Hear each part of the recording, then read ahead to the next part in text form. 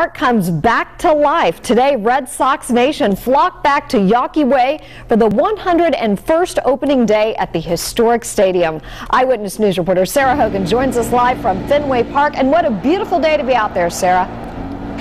Susan, it truly is a beautiful day, and the Red Sox home opener is just about to wrap up with seemingly a Red Sox win earlier today. Fans packed the streets around Fenway Park, not only excited because baseball is back in Boston, but also because Fenway Park is celebrating a very special birthday. It's the sights, Thank you. sounds, Sausages.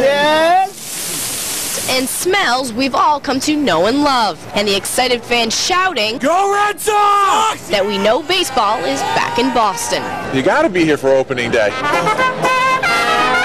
Each year, Red Sox fans count down the days until their home opener, but this year is different than those in the past because Fenway is celebrating its centennial birthday, and turning 100 never looks so good. Happy birthday to Fenway. Happy birthday to you. Definitely my number one.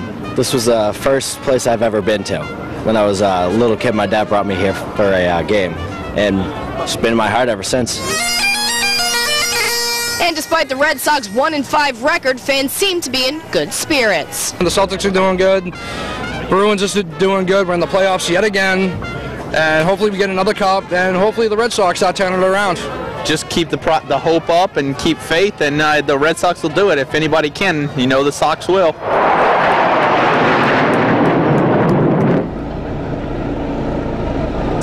Be sure to tune in uh, to Eyewitness News later at 6 o'clock as we catch up with Red Sox senior advisor and Tiverton native Jeremy Kapstein, which talks about, and he tells us why this opening day ranks as his favorite. Live for now at Fenway Park in Boston, I'm Sarah Hogan, Eyewitness News.